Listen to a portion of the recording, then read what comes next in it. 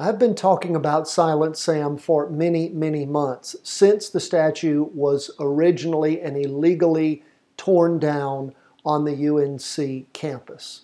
North Carolina General Statute 100 2.1 is extremely clear that when a statue is removed, it has to be reinstalled within 90 days.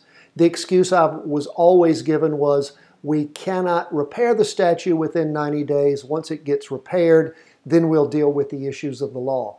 Now the outgoing chancellor has actually taken away the base of the statue, further complicating the entire situation. The madness continues. It is very disheartening to see all of this occur. The Board of Trustees of the University of North Carolina at Chapel Hill apparently being cognizant of this and allowing it to occur, even though the Board of Governors is supposed to be working with them to formulate a plan.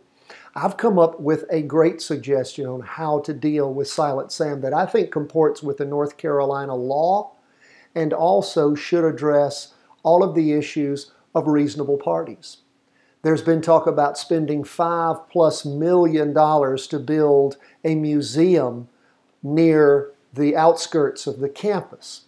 But why would we not build some type of structure around Silent Sam, not only to protect the monument, but also to allow people to present their views, to actually allow different points of view, and perhaps even encourage other statues to be put up. I can think of two very good ones. I live in Wilmington, North Carolina, where the 1898 race riots occurred where Democrats took over my city, murdered black people, closed down the black newspaper, ran the Republicans out of town.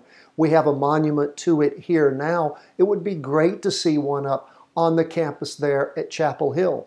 I can also think about something that was near and dear to my heart when I was in the North Carolina Senate and sought compensation for the people that were forcibly sterilized, mainly minority women by the Democrat Party who controlled our state for decades, up until the 1970s, both at the county and the state level. How about a statue to those women, to those people who suffered? I can think of a lot of things we could do to talk about our history, to contextualize it without tearing it down and giving in to the whims of criminals who would rather destroy things rather than contextualize and talk about them.